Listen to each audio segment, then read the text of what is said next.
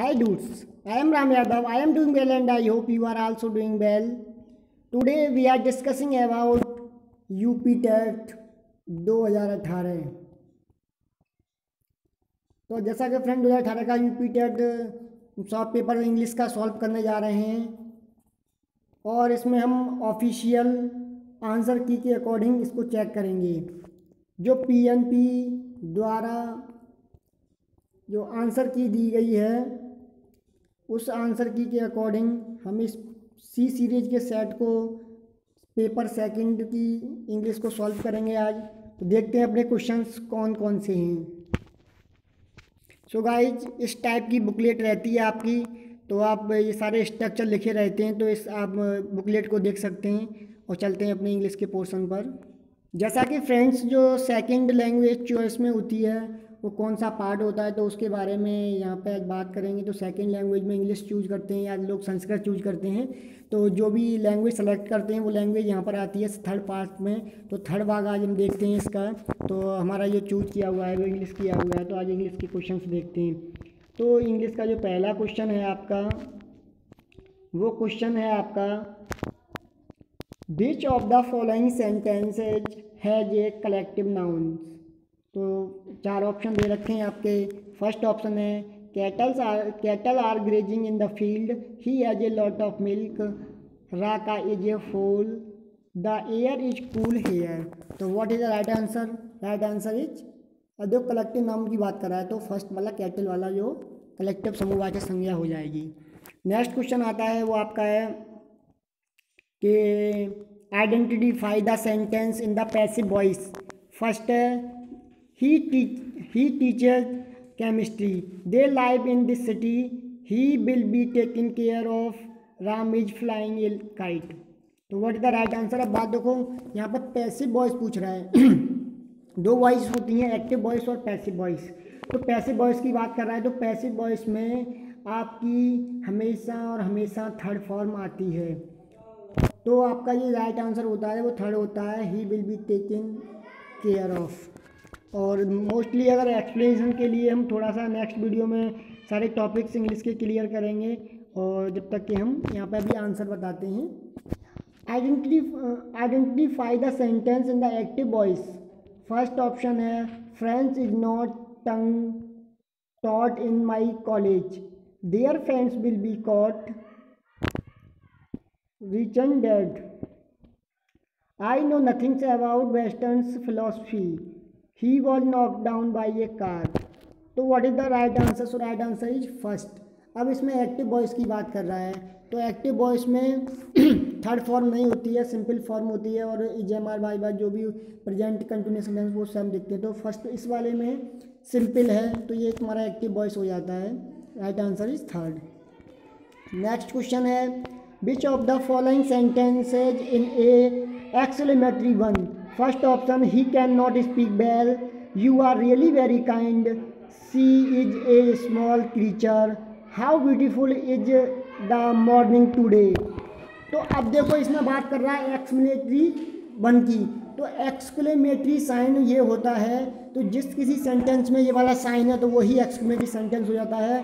तो इसलिए इसका आंसर होता है right answer four how beautiful is the morning today next question है वो आपका है which of the following words has a silent letter in it first option है calm second form third cure but तो what is the right answer तो right answer is first calm अब देखो ये C A L M A लेकिन पढ़ा जाता है काम तो इसका जो एल होता है वो साइलेंट लेटर होता है तो इसी में साइलेंट लेटर की बात कर रहा है, इसलिए इसका राइट आंसर हो जाता है फ़र्स्ट वाला। नेक्स्ट क्वेश्चन है आपका कि which of the following sentences has a direct narration मतलब डायरेक्ट नरेशन में कौन सा आपका क्वेश्चन है? तो पहला ऑप्शन है आपका he has told me that his father was a police officer my mother tells us that he her uncles was a salesman he set to me do not cross the limit Shyam set to me that he was not at easy yesterday ऐसे yesterday तो अब इसमें क्या पूछ रहा है? Direct narration पूछ रहा है। दो नरेशन डायरेक्ट नरेशन और इनडायरेक्ट नरेशन तो दो बारे में बात कर रहा है। तो डायरेक्ट नरेशन का बात है, जो बात हम जो कि तो कह देते हैं, वही वाली बात होती है। जो डायरेक्ट इनडायरेक्ट पढ़ते हैं, उसी से क्वेश्चन है सिंपल है वेरी सिंपल क्वेश्चन है। तो इसका जो राइट आंसर होता है, वो राइट आंसर हो जाता है बिकॉज़ क्योंकि ये वाला डायरेक्ट नरेशन में है। नेक्स्ट क्वेश्चन है आपका है which of the following sentences has the antonyms of narrow अब एंटोनिम्स का नैरो किस वर्ड में यूज़ किया गया? उसका अपोजिट मतलब अपोजिट एंटोनिम्स पूछा गया तो वो बताना है आपको। I admire his broad outlook he is a good boy she is utterly utterly selfish I know him well enough what right answer so right answer is first अब देखिएगा नैरो का जो अपोजिट होता है अपोजिट होता है तो होता है ब्रॉड होता है, विस्तृत होता है, नैरो माने सकरा होता है या तुच्छ सोच वाला होता है, ब्रॉड माने विस्तृत होता है तो वो राइट आंसर ये आ गया। नेक्स्ट क्वेश्चन है, वो आपका है according to the N C F two thousand five learning is Khalistan and खाली एम्प्टी इन इट्स करेक्टर अब इसमें कौन से करेक्टर होंगे? तो इसकी जो एन सी एफ़ दो हज़ार पाँच के अकॉर्डिंग माना था, वो एक्टिव एंड सोशल माना था। कि मतलब कि जो तुम्हारा क्रियाशील होना चाहिए और सामाजिक होनी चाहिए। नेक्स्ट क्वेश्चन है, वो है आपका what does motivation do in the process of learning first option है it sharpness memory of the learner second it differentiate new learnings from old learnings third है it makes learners thinks undirectly national undirectionally next option है fourth वाला it creates interest for learning among young learners तो इसका जो right answer है, वो right answer four है। It's creates interest for learnings among अब ये मोटिवेशन पूछ रहा है। मतलब कि मोटिवेशन किससे हो सकता है? बच्चों में कैसे क्यूरियसिटी पैदा हो सकती है, जिससे कि वो पढ़ने में उसका इंटरेस्ट लग जाए? नेक्स्ट क्वेश्चन है fill in the blanks with appro appropriate prepositions तो अशोका इज़ बर्दी अगर और उसका प्रीपोजिशन जगह छोड़ी हुई है।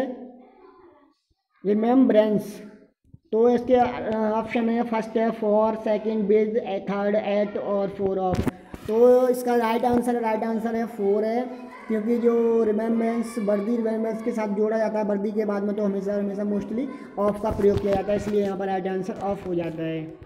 नेक्स्ट क्वेश्चन है what is the subject of the following sentence no man can serve two masters first option है two masters second no man can third can serve two masters four no man अब आपका पूछ रहा है sentence में subject पूछ रहा है तो सब्जेक्ट हो गया आपका नो मैन अब देखो हेल्पिंग वर्ब है वर्ब के बाद जो पहले होता है वो क्या होता है? सब्जेक्ट होता है। तो इसका जो फॉर्मूला होता है वो क्या होता है? आपका पता होगी।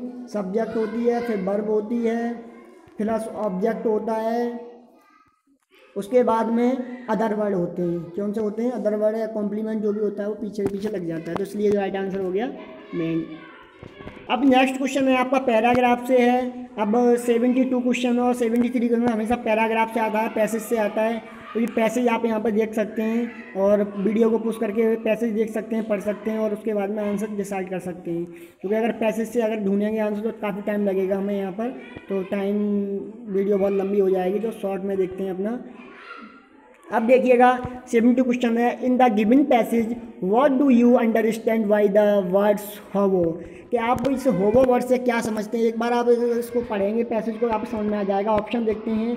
Someone who is brave a hero someone who does not have a job और a house and moves from one place to other four option है। Someone who fights with everyone and does not set quality ever तो इसका जो right answer right answer third है कि someone who does not तो ये वाला right answer है कि जो व्यक्ति जिसके पास में ना घर होता है, ना जॉब होती है तो वो क्या करता है? एक स्थान से दूसरे स्थान पर घूमता रहता है।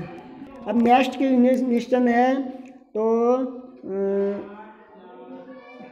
स्कर्बी स्कर्बी मीन्स मतलब स्कर्बी मीन्स क्या आता है? तो उसका पैसेज पढ़ोगे तो आपका आंसर आसानी से सेलेक्ट कर सकते हो कौन सही है।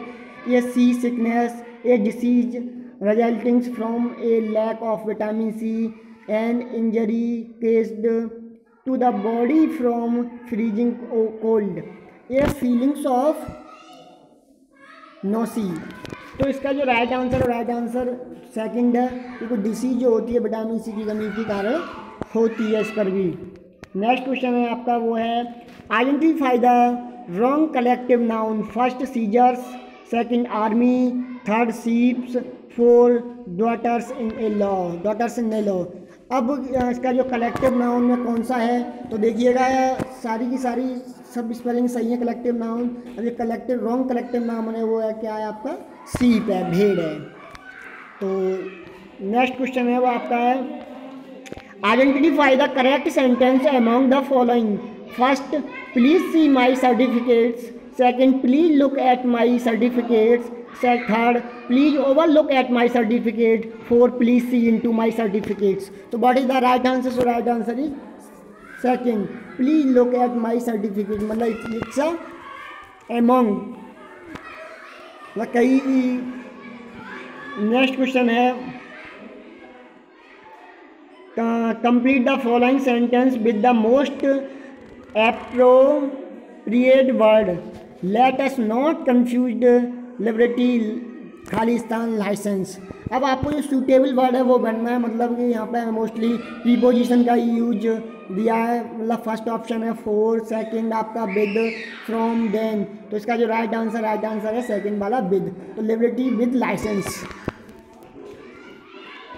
next question है आपका कि which conjunctions will be the most appropriate to join the following sentences he lost the prize he tried his best first option है थॉट एज बिकॉज़ फॉर तो इसका जो राइट right आंसर है वो first है थॉट थ्रो थ्रो या although और दो या ऑल दो दो या ऑल दो में से कोई सा भी होता तो भी आंसर राइट होता। है नेक्स्ट क्वेश्चन है वो आपका है which parts of the following sentence is predicate अब आपको इस सेंटेंस में प्रेडिकेट पार्ट बताना है। तो इसका जो ऑप्शन है आपका फ़र्स्ट ऑप्शन है ऑन संडे अब देखो इसमें सेंटेंस लिख लीजिएगा कि on Saturday on Saturday morning my friend and I play football in the park first option my friends and I second on Saturday morning third play football in the park four on Saturday morning I play football in the park तो what is the right answer right answer is है आपका third वाला play football in the park क्योंकि इसमें predicate parts पूछ रहा है। Next question है आपका what will be the feminine gender of wizard मतलब जादूगर का क्या होता है फेमिनाइन स्टीलिंग फ़र्स्ट ऑप्शन है फायरी सेकंड है विच थर्ड है लिजार्ड फोर है घोस्ट तो what is the right answer so right answer होता है बिच अब जो बिजर्ड का जो राइट आंसर होता है, वो बिच होता है जादूगरनी अब नेक्स्ट क्वेश्चन से आता है आपका मैस्कुलिन जेंडर ऑफ़ द वन एक्स इज़ फ़र्स्ट ऑप्शन है हॉर्स सेकेंड है ऑक्स फॉक्स और डियर तो इसका जो what is the right answer अब जो आपका जो विक्सन का जो मैस्कुलिन जेंडर होता है, वो होता है फॉक्स होता है. इसका राइट आंसर क्या हो गया? फॉक्स नेक्स्ट क्वेश्चन है which of the following sentence has the correct punctuation marks first option है the minister said election will be held in MP Bihar and Orissa second option है the minister said elections will be held in M P Bihar and Orissa third option है the minister said elections will be held in M P Bihar and Orissa four and minister said elections will be held in M P Bihar and Orissa अब देखिए इसका right answer क्या है? तो इसका right answer है first वाला। क्योंकि पंचुएशन पूछ रहा है तो इसमें कॉमा इन्वर्टर का ध्यान रखना होगा। और दूसरा की बात, ये डायरेक्ट और इनडायरेक्ट नरेशन से पोर्शन से है तो सारे के सारे डायरेक्ट और इनडायरेक्ट नरेशन के वो कॉमा इन्वर्टेड कॉमा विराम होते हैं, सारे के सारे दिखने पड़ेंगे आपको। इसलिए सबसे सूटेबल आंसर है वो आपका थर्ड है इसमें कोई करेक्शन नहीं है, आप देख सकते हैं। नेक्स्ट क्वेश्चन है which among the following suffixes is not suitable for the root words prevent first मतलब रूट वर्ड मतलब प्रीवेंट प्रीफिक्स पूछ रहा है। और दो चीज़ होती है प्रीफिक्स और सफिक्स उपसर्ग और प्रत्यय आपने पढ़े होंगे, हिंदी में वही सब चीज़ें होती हैं। तो यहाँ पर प्रीफिक्स सफिक्स पूछ रहा है। बाद में कौन सा हम जोड़ सकते हैं? प्रीवेंट वर्ड में। तो फ़र्स्ट ऑप्शन है I B E able I N G I O U S E तो इसका राइट आंसर है राइट आंसर फोर है आई ओ यू एस इसका जो suitable suffix is not suitable तो ये जो आई ओ यू एस है, इसके द्वारा नहीं बना सकते, लेकिन तीनों के द्वारा बना सकते हैं।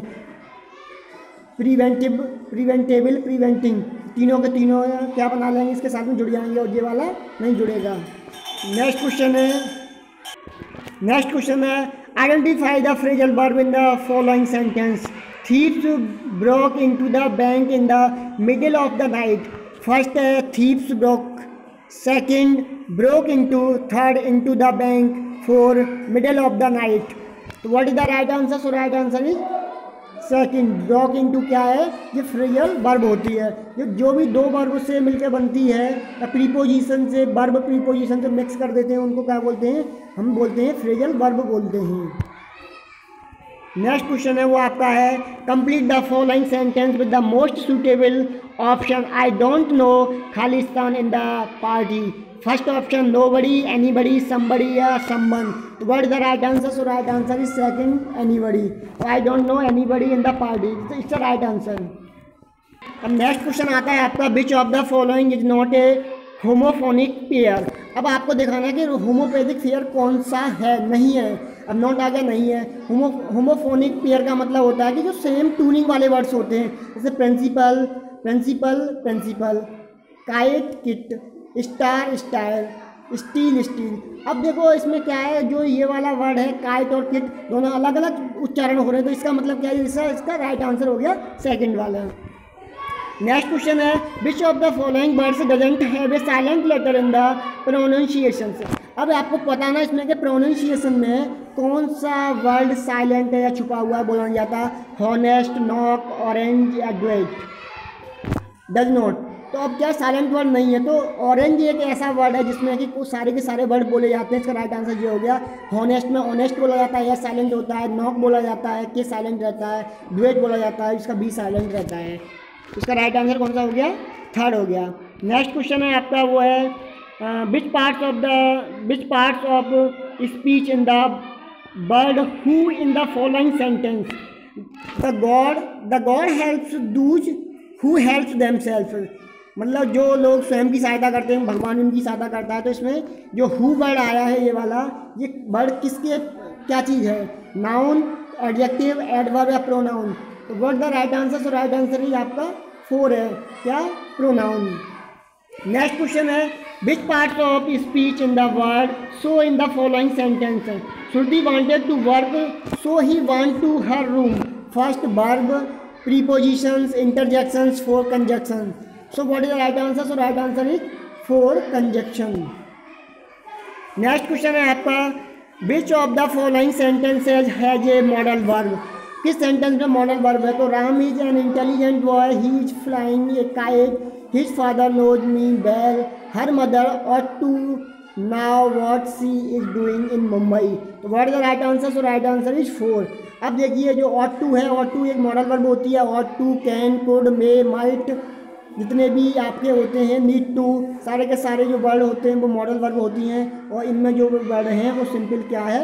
सिंपल सेंटेंसेस की वर्ब हैं. नेक्स्ट क्वेश्चन है, और लास्ट क्वेश्चन है आपका इंग्लिश का। Which of the following sentences has a possessive pronoun तो इसमें आपको बतानी है पजेसिव प्रोनाउन कौन सी है? तो he could not help me Ramesh who is my grandson in reading a poem her sister is known to me ours is a vast country अब आपको क्या पजेसिव प्रोनाउन बतानी है? तो पजेसिव जो प्रोनाउन से सेंटेंस स्टार्ट हुआ है, वो है अबर्स तो अबर्स क्या है? पजेसिव प्रोनाउन में इसके लिए राइट आंसर क्या हो गया? फोर हो गया. सो so गाइज़ आप इस क्वेश्चन से ऑफिशियल आंसर की है ये हमारी, मिला सकते हैं. और यदि आप अड़सठ हज़ार पाँच सौ के लिए तैयारी करने जा रहे हैं तो हमारे इस चैनल पर आइएगा। यहाँ पे हमारा पूरे सारे के सारे से अड़सठ हज़ार पाँच सौ के नोट्स आपको प्रोवाइड कर दिए जाएँगे, और जिससे कि दो हज़ार उन्नीस का अड़सठ हज़ार पाँच सौ वो आप क्लियर कर सकेंगे। और यदि आप हमारे व्हाट्सअप ग्रुप से जुड़ना चाहते हैं तो हमारा नंबर है double nine one double seven three four one two eight इस नंबर पर आप जाके कॉल कर सकते हैं, आप व्हाट्सअप मैसेज भेज सकते हैं अपना नाम और स्टेट का नाम लिख के किस तैयारी कर रहे हैं तो हम वहाँ पे आपको व्हाट्सअप ग्रुप में ज्वाइन कर देंगे। सो so गाइज़ आप हमारे चैनल पर नए हैं, आपने हमारा चैनल अभी तक सब्सक्राइब नहीं किया तो हमारे चैनल को सब्सक्राइब करें बेल आइकन दबाएँ, जिससे कि आने वाली लेटेस्ट अपडेट आपको मिलती रहेगी। और सी की सीरीज़ चल रही है नाइन दिसंबर को सी का पेपर है तो इसमें हमारे पी सीरीज़ पड़ी हुई है तो वो देख सकते हैं। एस पाँच सौ के लिए भी हमारा सीरीज़ चली हुई है तो वो भी आप लोग यहाँ से कनेक्ट हो सकते हैं। सो so गाइज़ आप कंटिन्यू रहें, सफलता हासिल करें। इसी के साथ हम भी वीडियो को विराम देते हैं। मिलते हैं नेक्स्ट वीडियो में। तब तक के लिए take care and good bye